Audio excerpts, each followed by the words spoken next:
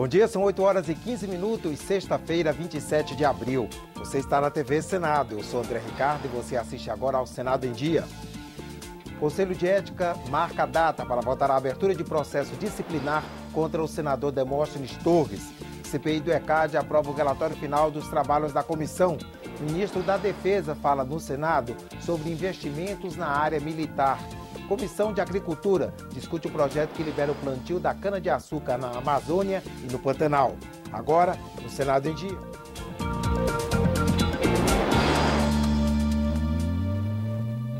O Conselho de Ética do Senado marcou para o dia 8 de maio a votação do relatório que vai decidir se o senador Demóstenes Torres vai sofrer ou não um processo disciplinar por quebra de decoro. A data foi acertada ontem, um dia depois após o colegiado receber a defesa prévia do senador goiano. Embora tenha sido informado sobre a reunião, o senador Demóstenes Torres não compareceu. O presidente do Conselho de Ética comunicou o recebimento da defesa escrita apresentada pelo advogado do senador.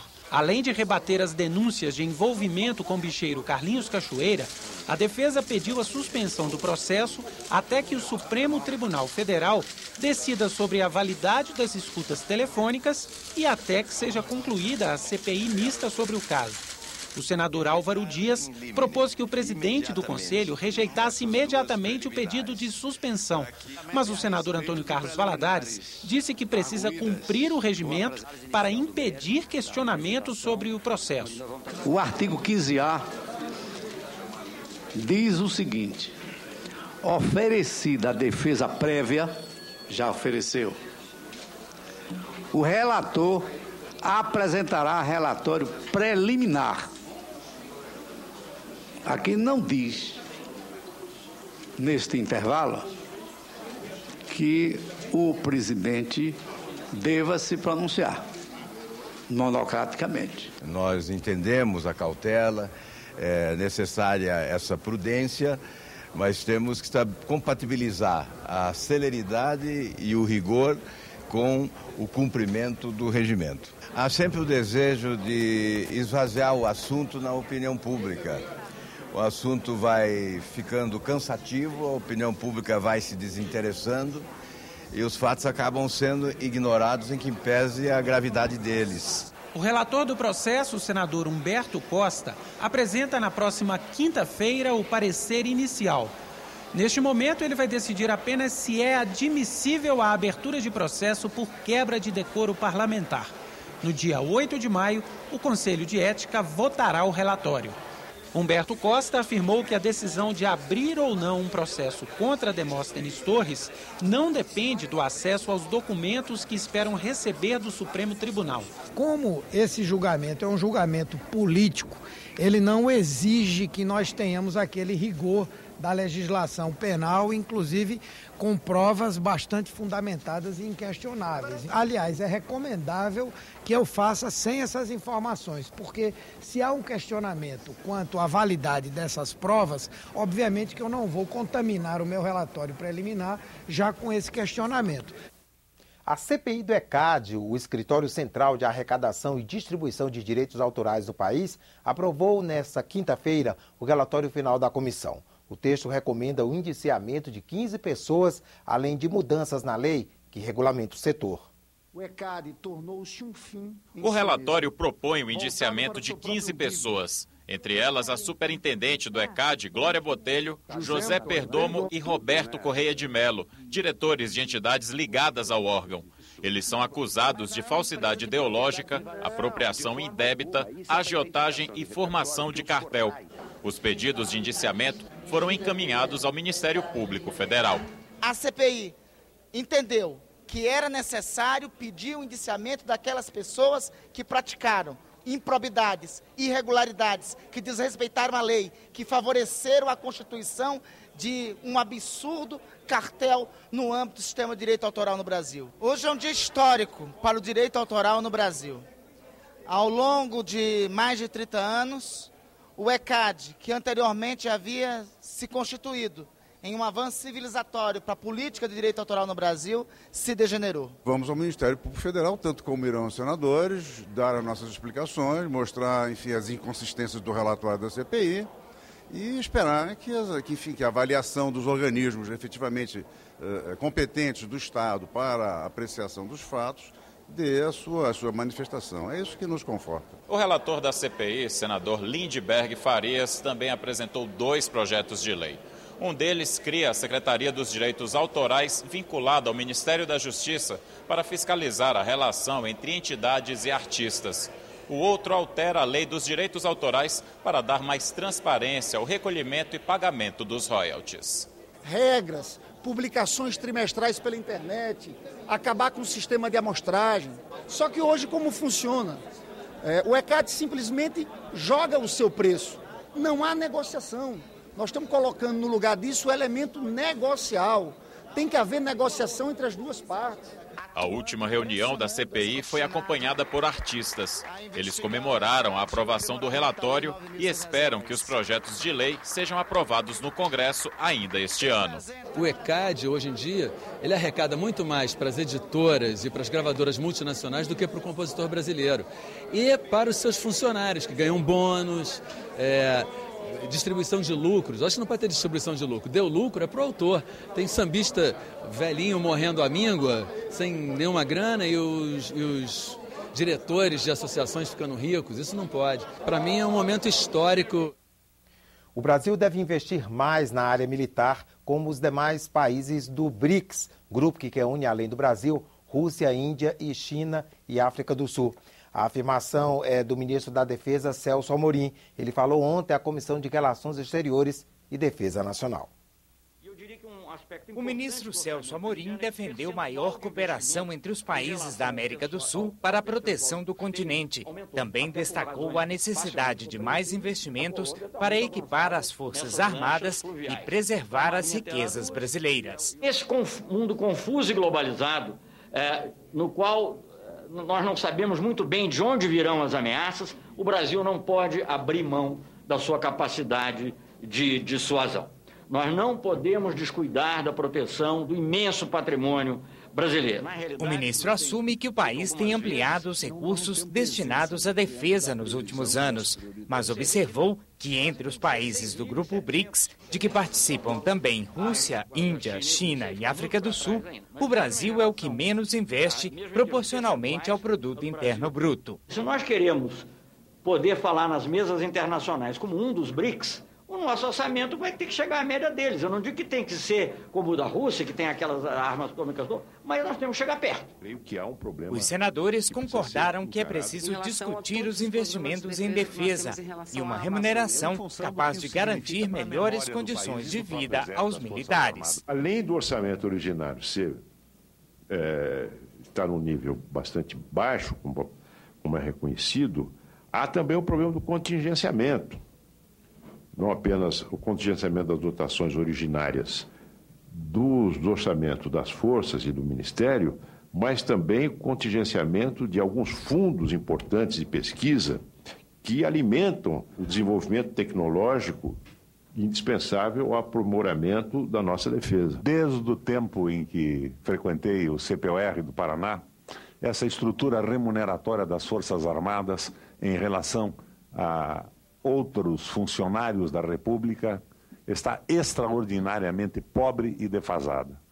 E seria interessante que nós nos informássemos a fundo para que a gente finalmente tome uma posição a respeito disso.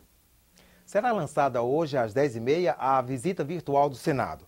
Quem não pode viajar a Brasília poderá passear pelos ambientes da casa no ângulo de 360 graus. Basta um clique no portal do Senado na internet. O endereço é www.senado.gov.br. Na parte de baixo da página, procure institucional e visita virtual. A Comissão de Agricultura discutiu ontem um projeto que libera o plantio da cana-de-açúcar na Amazônia e no Pantanal. Representantes dos Ministérios da Agricultura e do Meio Ambiente também participaram da audiência.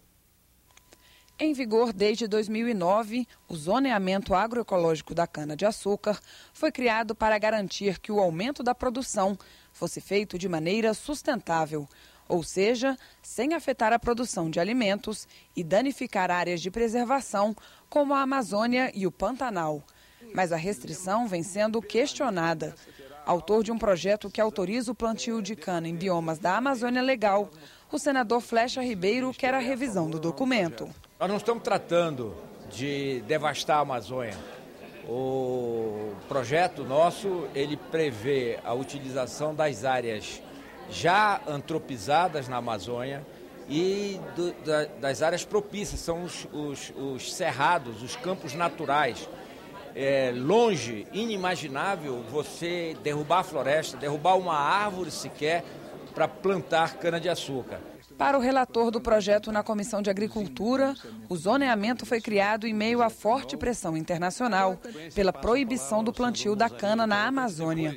E o Brasil, que até 2008 era exportador de etanol, passou a importar o combustível dos Estados Unidos. A questão de fundo disso aí é econômica. Os países ditos ricos do mundo não querem eh, e veja as, as barreiras que se faz ao etanol brasileiro, e veja as barreiras que se faz ao açúcar, porque, por exemplo, a Europa não consegue competir conosco produzindo açúcar a partir da beterraba ou da cenoura. Decorridos cinco anos, eu acho que pode haver a necessidade de, um, de uma reavaliação. E o Ministério estará sempre disposto, se for determinado, a, a concluir o trabalho entendeu? Mas temos que entender a lógica. A lógica desse trabalho foi de 2007 e estamos em 2012. As condições se alteraram. Naquele momento nós tínhamos ah, uma projeção de mais de 120 unidades novas de açúcar etanol e nos últimos 3, 4 anos inaugurou-se 5 unidades. Então, o cenário é totalmente diferente. Nós definitivamente não temos a tecnologia toda disponível para saber que rumos as coisas podem tomar no nosso planeta se nós continuarmos abordando da forma como estamos. Essa é basicamente a questão. É que nós aprofundemos as nossas discussões, que nós sentemos em mesa sem conflitos, mas com busca do que é melhor para todos e para o futuro do país, levando em conta processos como esse, que fogem da nossa compreensão. Para rever a norma e buscar um acordo, o senador Valdemir Moca propôs uma conversa com os ministros de Meio Ambiente e Agricultura. Eu acho que nós temos que, no mínimo, discutir um zoneamento. A partir do zoneamento, aí sim, Pronto. tecnicamente, academicamente, restringir ou não.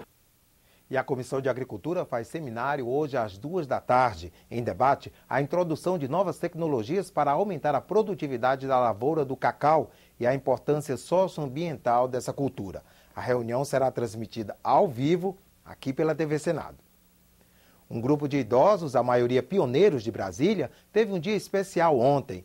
Muitos já moravam aqui em 1960, quando o Palácio do Congresso foi inaugurado mas nessa quinta-feira vieram conhecer o Congresso Nacional, onde entraram pela primeira vez. Eles viram Brasília nascer, ajudaram a construir a cidade. Mas alguns pisaram hoje no Congresso Nacional pela primeira vez, como Dona Érica de Oliveira, de 88 anos, uma das mais entusiasmadas com o passeio. Nos comentários, histórias que fazem parte da vida dela. No tempo de Juscelino, quando ele desceu, nós estávamos na fila do almoço para almoçar, dois operários começaram a brigar, porque um xingou o outro de candango. Aí eles foram a Juscelino Kubitschek e falaram para ele que eles dois estavam brigando, porque chamou ele de candango. E Juscelino disse: Eu sou o primeiro candango que desse lugar. Então pode consagrar aqui Candangolândia foi fixado pela palavra de Juscelino Kubitschek.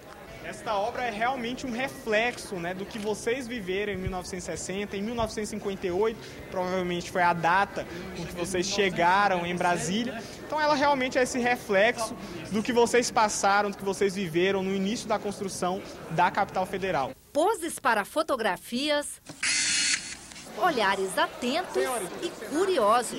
Interessante, né?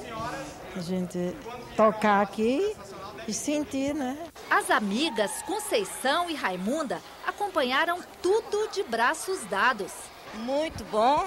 Está uma viagem, assim, um passeio muito chique, muito importante. Nós estamos gostando muito. No Museu do Senado, os pioneiros foram homenageados pela diretora do Senado, Doris Peixoto, e pelo senador Rodrigo Hollenberg. Nós estamos aqui por causa deles. Foi o esforço desses brasileiros de todos os rincões desse país que construíram não apenas o Congresso Nacional, construíram não apenas uma nova capital, mas estão construindo um novo país. Com 102 anos, Dona Maria Salomé resumiu o dia. Aqui é como se uma, uma comida gostosa, tudo tá bom. O passeio organizado pelo Senado e pela Secretaria de Justiça do Distrito Federal fez parte das comemorações dos 52 anos de Brasília. Depois de quase duas horas percorrendo o Congresso, a descida da rampa foi no tapete vermelho. Oh, eu estou sentindo tudo quanto é de bom. Porque tudo quanto é de bom e bonito eu vi aqui dentro, viu? Nunca tinha vindo, foi a primeira vez. Achei lindo e quero vir mais outra vez, se Deus quiser. Eu ficava pensando como era aqui por dentro. E de repente apareceu essa oportunidade de eu ver tudo. Gostei demais. Adorei. Eu cheguei aqui em 60, né? E hoje eu tô, andei e passei, fiquei conhecendo um lugar que eu imaginava nunca, nunca. Muito bom. Eu vim aqui quando estava em construção, quando eu vinha da Candangolândia, trazendo malmitas de comida na cabeça, para vir dar aos trabalhadores que estavam abrindo a ala aqui para fazer esse prédio lindo que está aqui hoje. Né? Então, para mim, hoje, para mim, foi a maior alegria ter entrado aqui na segunda vez que eu cheguei aqui em Brasília, no ano de, de 1956, às 4 horas da tarde, no dia 19 de junho.